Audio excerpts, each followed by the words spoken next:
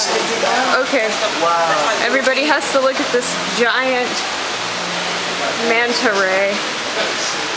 Hey, baby. Look at it. It's absolutely huge.